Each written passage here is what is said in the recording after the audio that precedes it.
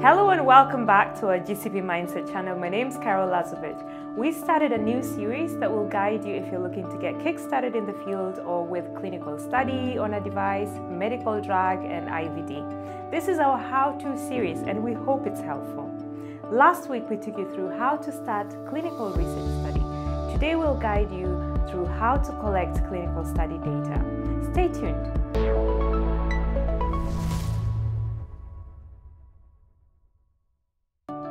As a manufacturer, you will have now identified your study, designed a powerful study plan, defined the inclusion and exclusion criteria.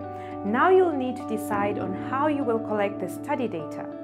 Your method of data collection can vary based on the risk of your study, type of the study, complexity, whether you will collect the data from one country or several countries across the globe, the classification of the study, data points, type of measurements, your budget at hand, etc.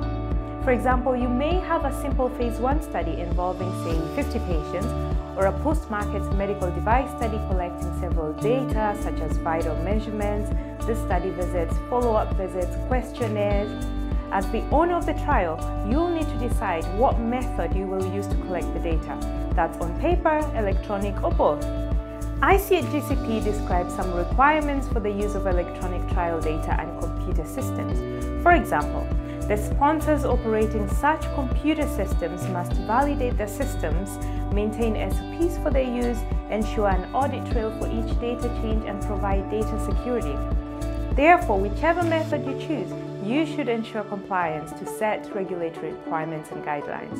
You need to weigh the pros and the cons of the method you wish to choose paper-based method is the traditional way where collection of data is done on paper forms called case report forms or CRFs. These forms are then sent to the data management side where they need to be entered into a centralized database and managed. This can be time and manpower consuming and it will increase your cost in the long run. For example, if you have to archive paper for 25 years, you'll need to spend a lot on maintenance for transport, storage that's water, fire and dirt proof, filing, etc. You can expect this method to be costly, time consuming and inefficient. Nowadays, paper CRFs are not used very often anymore. Actually, most experienced people would consider this method obsolete. Today, electronic methods involve entering the data directly into a computer system without being transcribed on the CRF. This method is also called EDC, which stands for Electronic Data Capture. The computer system has a central database which stores the data collected worldwide. EDC systems are usually set up and maintained by CROs that have clinical research as well as IT experience. As a sponsor, you should consider a CRO for these EDCs. Keep in mind that a good EDC system should be accurate, flexible, consistent, user-friendly for the sites and the research staff collecting the data and not cost-intensive. As a full-service CRO, we tend to support the sponsors with tailoring an EDC solution based on the study to find an EDC best suited to the client's needs and the needs of the study. Well-designed trials and the data management methods are essential to the integrity of the findings from the clinical trials. Therefore, timely data collection, accurate data, complete data are key indicators of the quality of the study conduct. Another method is to involve the study subjects directly into the data collection. This method can be used for questionnaires such as quality of life questionnaires or diary data if the subjects enter the data directly, we refer to the patient-reported outcome.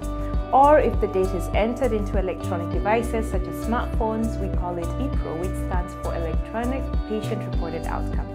These data, of course, are very important and useful for clinical trials, but the chosen method needs to match with the captured EPRO data and the electronic devices, internet connection, etc. In future, more and more wearables such as watches or implantables will be used to get data directly from patients. Remember, the success of your trials heavily relies on the study design, quality and integrity of data amongst other things. Hence, the data should provide information about the study and the study's objectives. For that, you will need good data management plan and that is accurate, thorough, detailed, complete and reflects the objectives focusing on critical endpoints. Thanks for tuning in. See you next time. Goodbye.